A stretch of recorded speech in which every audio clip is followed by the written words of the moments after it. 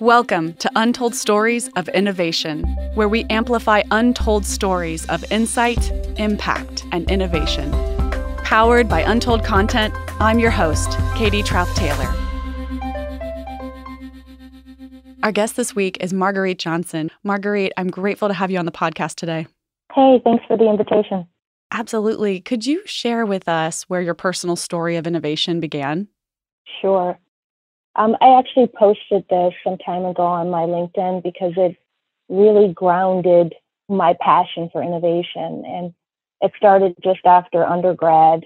Um, I had a small apartment in the downtown Detroit area. So, unlike most um, large major cities, parking is a premium.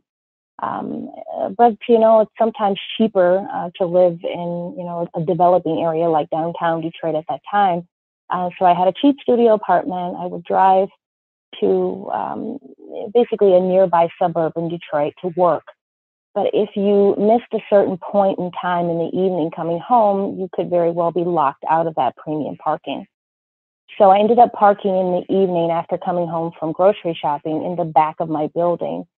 And, you know, Detroit is one of those older cities where in the back of our buildings um, are large alleyways, like lined with dumpsters.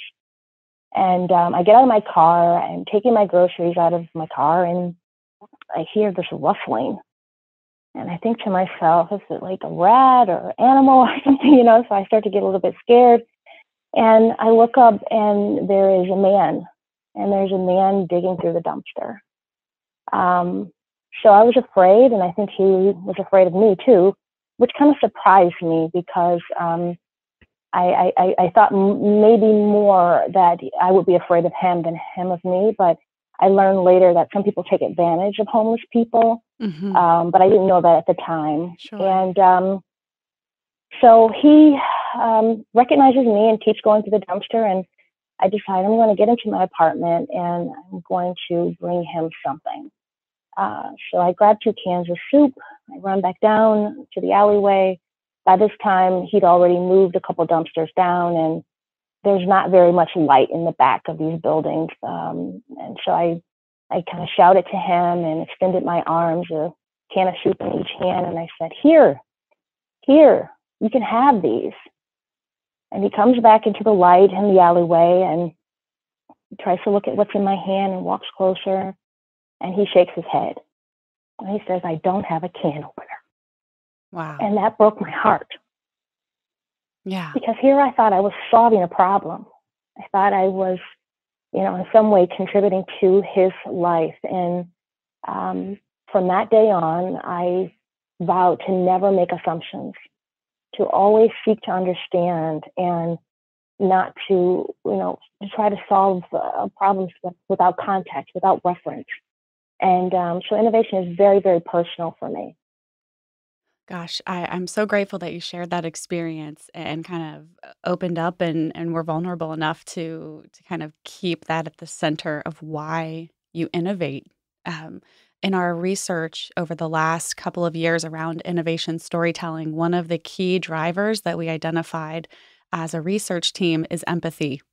And it's talked about mm. a lot inside of the innovation process in terms of how to really understand who you are innovating for and how you're going to mm. change their lives. And that example just really strikes me as a powerful one in terms of empathizing and, and to be empathetic means to really understand someone in their context. Yeah. It, it's it's it's been you know I had no idea that my career would lead me down that path. I mean here I was in my 20s just you know kind of finding my way and uh, it stayed with me and it sticks with me to today. Do you think that that experience made you hyper curious from that point on, maybe even more so than you had been. It seems like that was such a turning point in how you looked at the world and how you thought about the experiences of others. Do you think that it uh, sort of instilled a new and deeper level of curiosity and empathy toward others? Yeah, I, I hold the um, I hold it very precious, right? So um, uh, you know, um, innovation, you know, it, it, it, has to be more. It has it has to mean more. And Um, not that you know every innovation you know has to have a you know a social story connected to it. You know, many times, particularly in my line of business, we're innovating because we're solving for a job to be done and a job to be done with technical assets and capabilities and expertise within a defined space. And so it's not always possible to um, apply that expertise to solve every you know issue, but um, it, it, it, does um, you know make me humble. Um, it also makes me seek to understand. Um, it it, uh, it it it takes me out of my own personal point of reference. Um, it, it helps me to put myself in someone else's shoes and to recognize my own biases. So um, I, I, would say it it it, uh, it it it has more meaning than I originally assigned to it when it was happening to me. Absolutely. I want to dig into this idea of storytelling and the role that it plays in innovation because I think you just spoke to it. Um, not just understanding you know, I think even in highly technical areas of innovation, where you're an engineer, for instance, or a designer, or a product team or a marketing team working with a very specific kind of technical or creative brief and trying to innovate against it. But I think every technical brief and every creative brief, if it's not infused with a deep understanding of how it's going to impact the user, then it's it's sort of failing to some degree. So could you could you kind of explain your thoughts on that? Tell me a little bit more about um, the role that you feel that storytelling can play in innovation. Storytelling in the beginning, and, and I caution um, storytelling in the early stages from being too imaginative, right? um, in the early stages, storytelling should literally be grounded in the customer's needs. As what you've heard from your customer, from speaking across the value chain, from your suppliers to your partners to your internal customers, and learning and understanding what that need is and in various forms what that need is. And so you're not necessarily um, being fanciful. Uh, you're you're very much grounding that understanding in a precise need spoken by your customer and spoken by those stakeholders in your value chain. So it's important to keep that in focus and keep that in mind, and not go too far into um, you know making up a story. Uh, it should really reference you know the analysis that you've done, your capabilities as a company, as a technical expert. Um, your opportunity spaces in your strategy. So in the early stages, it's very important to use actual data and actual research um, to ground the storytelling and not let the storytelling be for fanciful sake. Do you think that data can tell a story? Oh my gosh, absolutely. Absolutely. Um, in fact, uh, the, the data in the early stages of your work should be the story. Um, I often say if you can't uh, figure out how to explain your customer, use the verbatims from your customer interviews. Um, it's a much more, um, uh, it, it, it's a stronger context and a reference point for other people. Um, you know, when you are pitching a new innovation, a new concept, a proposal, to say XYZ customer said this and read the verbatims from those conversations. I mean, that has credibility, it has reference and it has accountability. I mean, it's um, it, it, it you know, your customer tells the best story. I would say.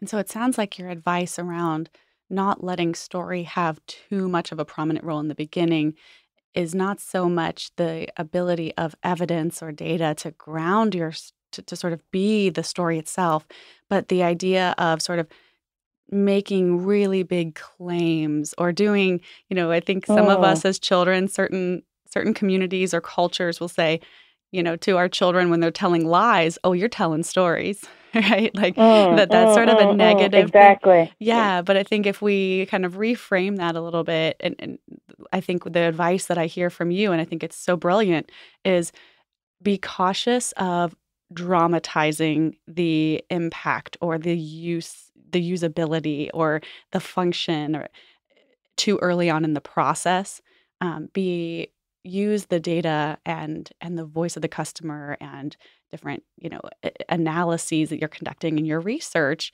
to really especially in the beginning ensure that that is the heart and soul of the story. Exactly exactly because that is what's going to take you through all of those changes that are possible. The other thing katie is you know when you're dealing with early stage innovation you oftentimes do not have data that's um, solid, right? Uh, um, you are very much on a journey.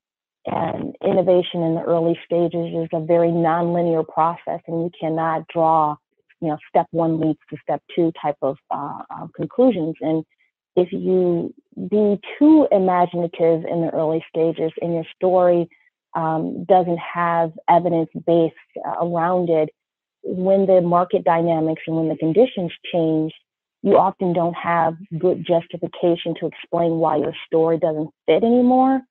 But if your early stage discussions around storytelling are grounded in those facts, when those facts become more known or when that information shifts and changes because the market shifts or changes, you have good justification for the reason why your story's changed. That is such an important point. Um, can you speak a little bit about getting internal buy in and in the role that you know that the communication plays and being able to generate that. Oh i have actually a couple examples if you would indulge me um, please. Uh, i i um, i you know oftentimes innovation happens within the r&d group and we're a very tight uh, knit organization and we spend a lot of time feeding and vibing off of one another but uh, if you do not have the buy in from your larger organization, you cannot be successful converting your innovative proposals, products, services, business models into profitable growth. And that's ultimately what innovation should be. I mean, that is your uh, um, best uh, uh, justification for the resources that are put forth in the investment in R&D is when some of that stuff comes to that pipeline and it's converted into profitable growth. But if you do not bring your broader organization in on those innovative ideas, uh, then you know you could possibly run uh, um, into some walls. And so, um, in my past, uh, one of the ways that I brought the broader organization in on innovation is through the game of bingo. And um, I know it's a kid's game, and we've all played this game, and it seems very simple. Um, and it was surprising how um, you know everyone kind of got on board. So I'll, I'll explain what the BINGO stands for. So the B is for business, the I is innovation, and the N is numbers. G is goals, basically those goals around your strategy, and O is for operations and organization. So what we did was we printed these bingo cards and we allowed various people to submit ways that the you know the numbers or the business impacted a particular innovation that we were highlighting.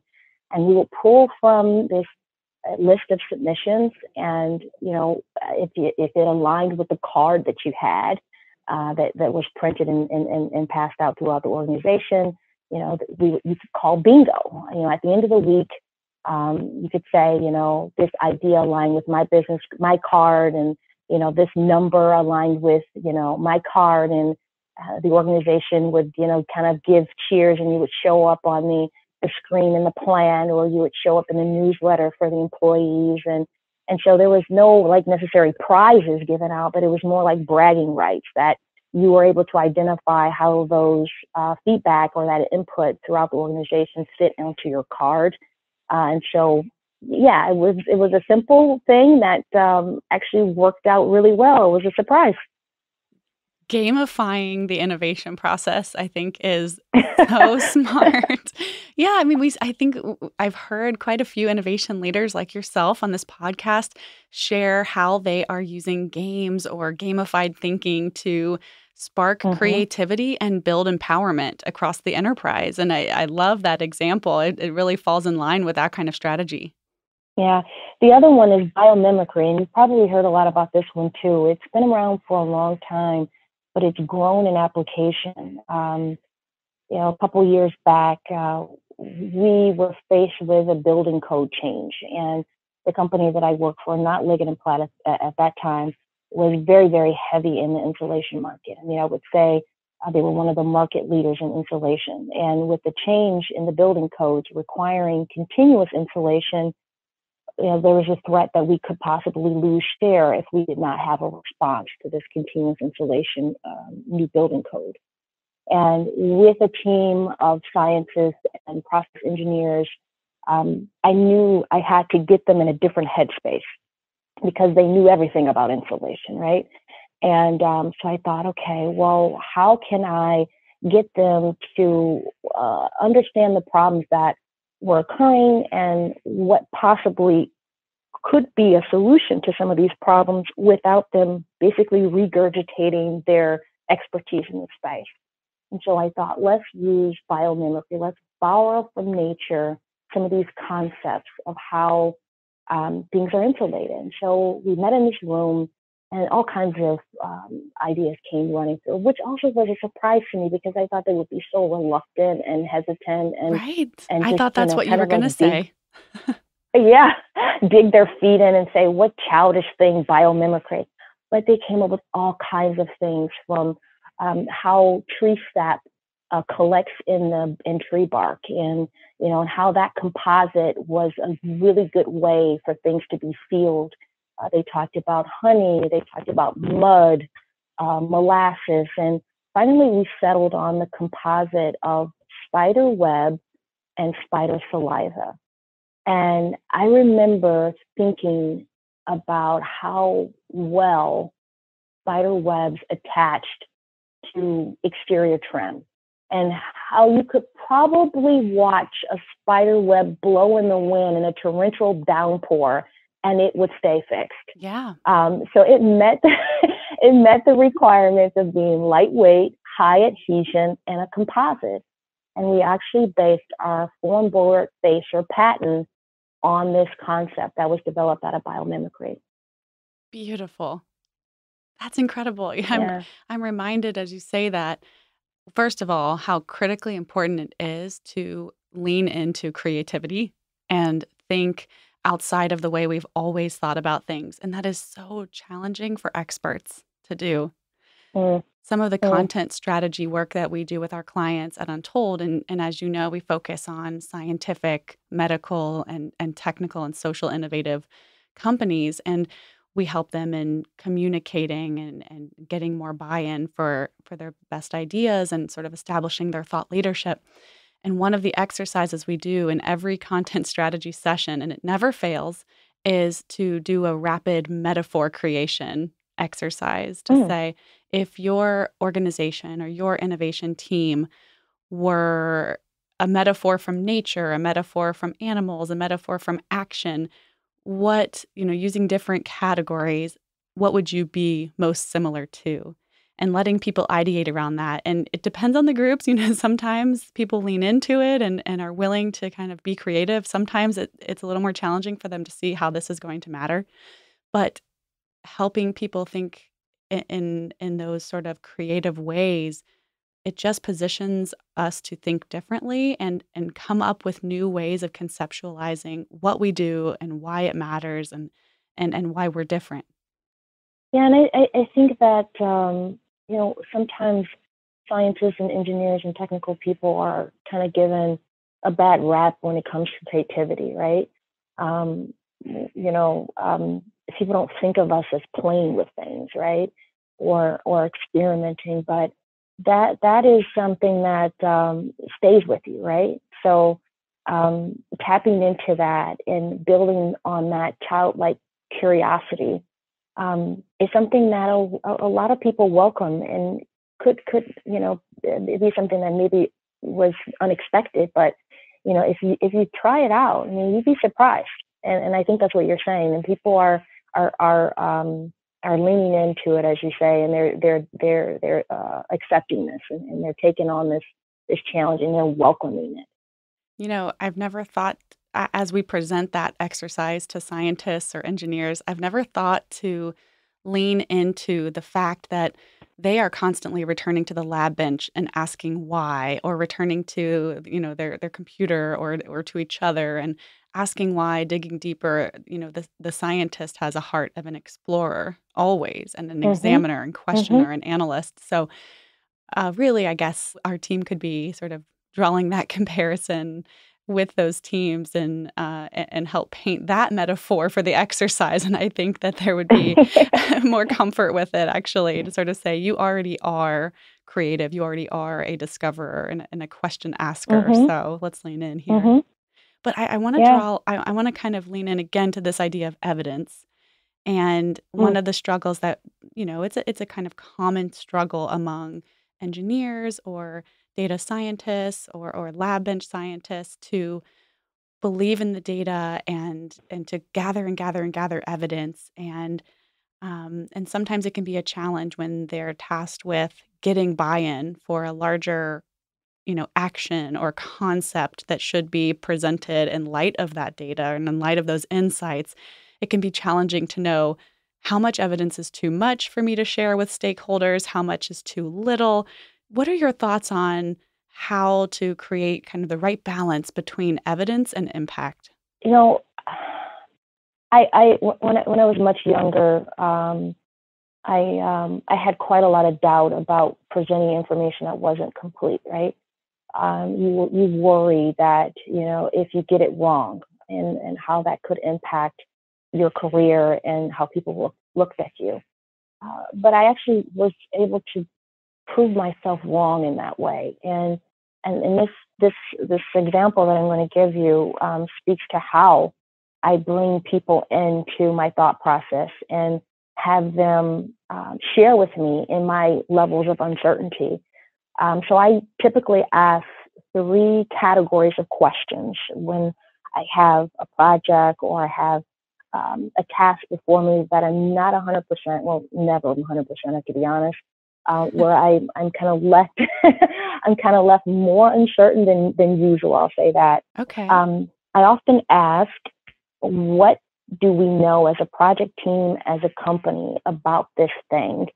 And I want to know, do I have any validated data existing? So do I have a customer who's vouched for this? Do I have any market data or industry reports or internal knowledge that tells me that we know for certain, you know, this thing about this this this project or this task? And then I want to know what I don't know, but what is knowable only if I ask. And that's ask a customer, a supplier, another expert, or seek out, you know, some content from maybe a, you know, purchasing report.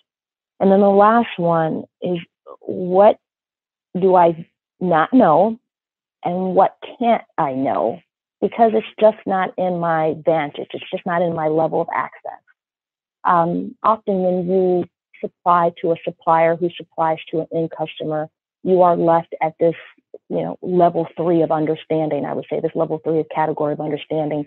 There are things that you don't know, but you also don't have access to, sure and that that lack of knowledge can sometimes paralyze people, and they'll start to try to in, to interpret it or figure out, you know, um, you know how to plug those holes or those gaps in knowledge. And um, that's not necessarily the way to go. I find if i share with my team and i say to the broader organization this is what we know.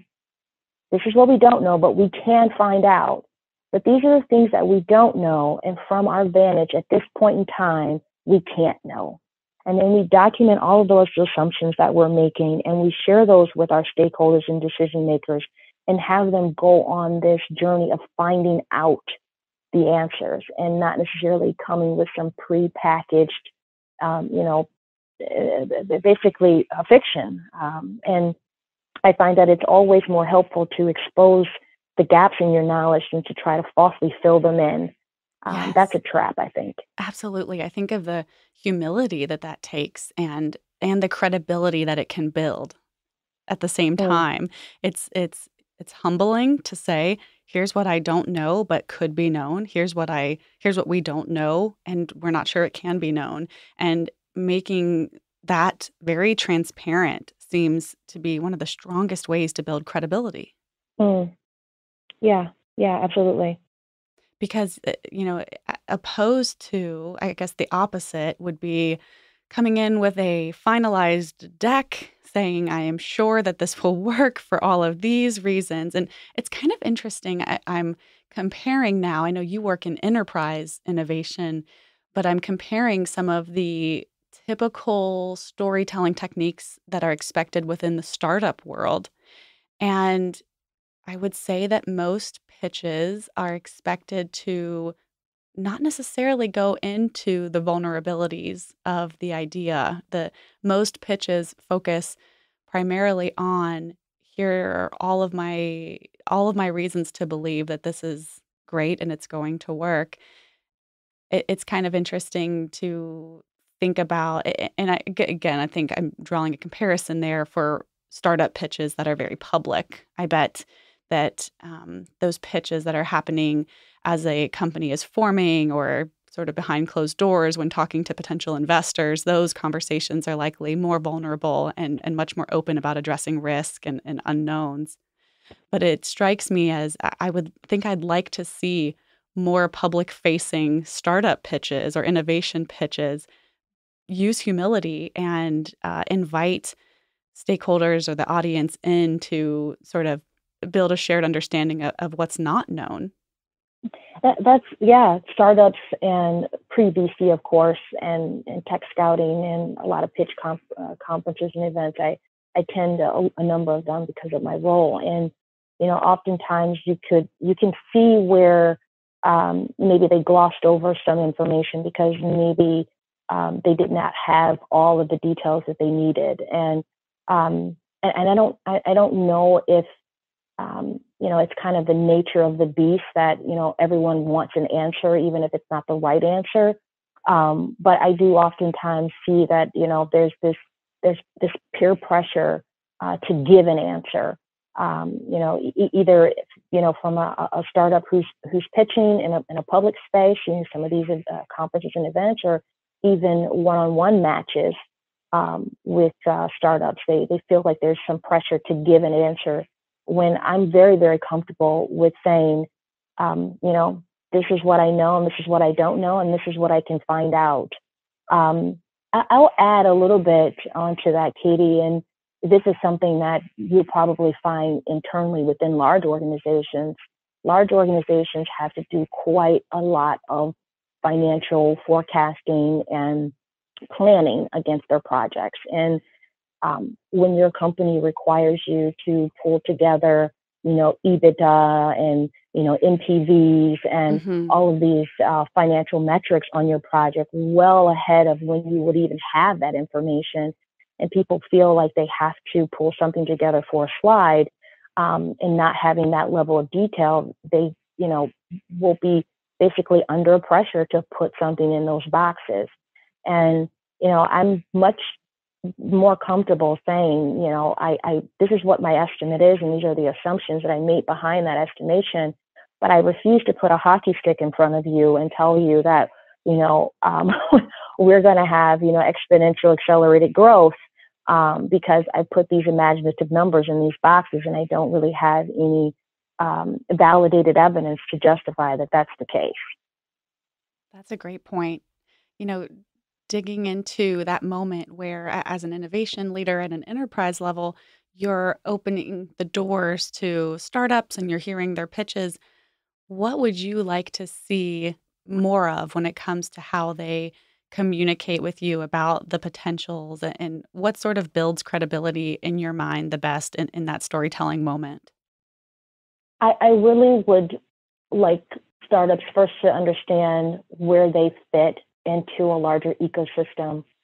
Um, that that would be first and foremost. First and foremost, um, and how their business model will eventually make money, right? So we understand that you know not everyone is um, you know profitable at the gate, but I would like to see some evidence that there's some thought towards an exit strategy and how that business model will develop over time and how you're tracking to that business model.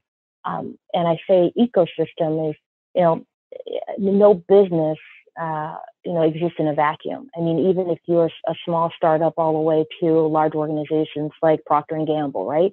Um, everyone has to fit into an ecosystem. And if you are, um, you know, have an expectation that your product will require an upending of an ecosystem in order for it to work, then that's a serious challenge. That means you are not scanning uh, the environment. That means you have not thought very clearly about what alternatives or substitutions are out there and you're thinking you're just going to take on the world and and change it all with your product and i think that's that's that's you know that that's that's it's a great passion right to to hear this uh, um, you know startups tell you how they're going to take on the world but you know we all have to be realistic with the changes that we can make um, and just have some understanding of where your business model um, will go and where you are currently in making that business model profitable. I think those would be the the two biggest things that um, I find that people a little bit more um, they they could they could live without the fiction in the story. Sure. Yeah. Absolutely. It, it, I think it's that parallels the advice you were giving uh, at the internal moment rather than just putting projections up that are best case scenario projections or you know, sort of using data to tell only the story you want it to tell, right? That that mm. vision mm. that you mm-hmm. shared mm-hmm. of sort mm-hmm. of plugging in those numbers. Um, ultimately, that's that makes it a much more devastating and challenging conversation when the milestones don't match that original projection. Is that sort of what you were alluding to when you said, "Let's be realistic from the start as best we can"? Yes, let's be realistic from the start. Tell me where you are and how you're going to get to your goal. Yes. What other pieces of advice do you have for innovators? Whether you, you shared really great pieces of advice uh, for startup innovators looking to partner with big co's and, and with industry, what advice would you give to innovators inside of industry, you know, inside of big co's, if you will, as they prepare to convey their great ideas, get internal buy in, and ultimately get buy in from users and customers? So I, you know, this goes back to the um, the story of the gentleman in the, the, the alleyway outside of my building, and um, I, I, I I did I wasn't uh, mature enough in my thinking at that time uh, to check myself, right? And to check my bias and to understand what um, I was bringing to his story um, that um, uh, was was possibly impeding me really seeing him and seeing his situation. So I would say seek alternatives and perspectives, and having all of the answers uh, should indicate that you have a bit of tunnel vision. Mm-hmm. Um, you know, it, it's always helpful at the start to identify your blind spots. And that's where I go back to those three questions of what do you know, what do you not know, but you can know, and what do you not know and you can't know. Um, because checking your bias and identifying your blind spots is truly um, the point of maturity when you're really seeing things with your eyes completely open. And absolutely don't forget your get your customer. I mean, that's in fact the reason why you're innovating um, they should be the reason for the story. Um, I love that. Highlight your journey. We, we, we didn't, yeah, brilliant failures, right? There's so many um, brilliant failures that are public uh, from large companies. Um, you know, I often hear the uh, Thomas Edison one um, repeated and the WD 40, um, you know, uh, brilliant failure. But yeah, but there are so many brilliant failures um, that are public, and, and there are probably a lot of them you know, internal to organizations. And, you know, that's a good story, right? There was some learning that happened from there. So um, you don't forget that journey, even if it results in a brilliant failure. We conducted research at Untold Content where we looked at thousands of different types of innovation stories and came up with patterns that we saw. And one of the patterns was what we call the perspiring innovator, which is not giving up, oh. right? Returning to the bench. So WD 40 is one of the examples for, for folks that don't know. They they all you know that organization they knew the problem that they were trying to solve but they could not figure out the right solution and it took 39 different formulations before they finally came up with number 40 and then they named it they branded WD-40 with that label to sort of reveal the importance of perspiration to the art of innovation. That's the best trophy, isn't it? Yeah. I mean, this is your trophy. that's where your sweat equity went into. it's the 40th attempt, and now you have a success. That's awesome. Yeah, and I that's love that awesome. you, you know, that you linked that to the importance of sharing failure stories too, failure narratives, and being comfortable doing that and doing it in a way that always gets to not necessarily, you know, the down downtrodden, the idea is to get comfortable sharing the learning that came from that. And that if you went through the the process or the the innovation stage gate in the way that you know you know if you followed those steps that you believe in or you looked at the data in a clear line of sight just because the idea uh, had a red light or got shelved that doesn't mean that it necessarily failed if you learned from it rapidly and you apply it to the next opportunity.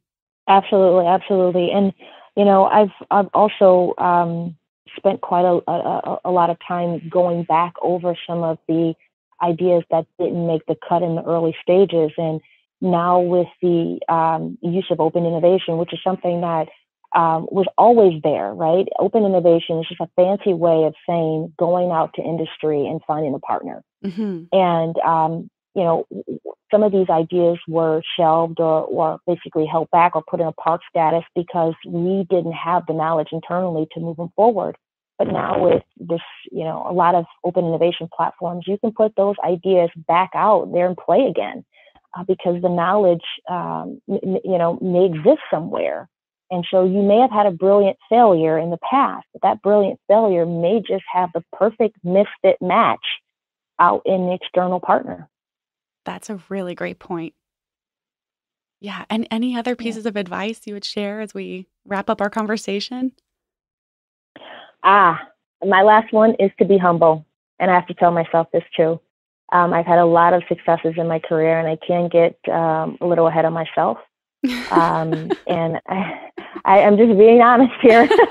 and um, I, I just allow everyone around me to, um, to, to, to restrain me, right? And to, to, to ask me to tell them why and not just, you know, trust, um, you know, that I say it. And so I invite people to ask me questions and to challenge my knowledge. Um, and sometimes the things that people tell me don't necessarily fit into the scenario or fit into the project or the, or the context um, that I'm dealing with but it may apply in some general way um, going forward. And so I like to just, you know, be in a position that people feel like they can come to you and tell you how they feel about your project, how they feel about your pitch, how they feel about the overall approach. And having those constant checks on you, it keeps you humble. It keeps you from feeling like, you know, you don't need any input from anyone else. And again, I'm going to take on the world all by myself. And so remaining humble, remaining engaged, acknowledging that you don't have the, all the answers, and that is absolutely okay. And you can use a larger organization to, you know, keep you honest and, and keep you on the right path. That's incredible advice. And I think throughout our conversation, you've placed so many really practical, tactical ways that we can remember to be empathetic, humble, open to feedback, and ready to pivot or change or build upon the ideas of others. So I am so incredibly grateful. I, I don't. I, I think we could talk all afternoon about these topics, but I know our time has been limited. Um, thank you so much for being on the podcast. I know the innovation community will get so much out of this conversation. Thank you, Katie, and I appreciate the time. Thanks for listening to this week's episode. Be sure to follow us on social media and add your voice to the conversation. You can find us at Untold Content.